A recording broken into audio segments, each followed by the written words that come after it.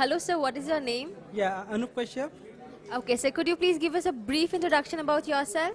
Yeah, I'm director of Myplanet Preschool. Uh, we are a preschool chain in uh, Central India.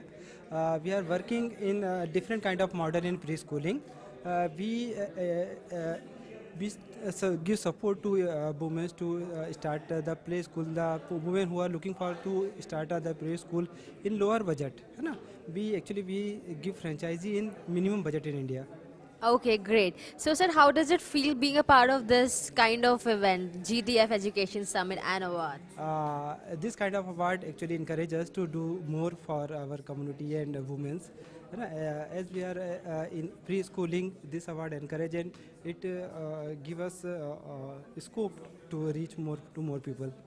Okay, sir. So, what are your expectations about this thing, about this? This, yeah, this summit. Uh, my hope is uh, uh, to meet new uh, uh, uh, the industry. Uh, uh, what kinds of uh, going on in this industry? No, uh, what is the future? Uh, the- the- there are topic for the innovation in education technology and this kind of things. So it it's give us the more knowledge uh, being here. Okay, thank you so much, sir, for being here with us. Thank, you, you. thank All you the very best.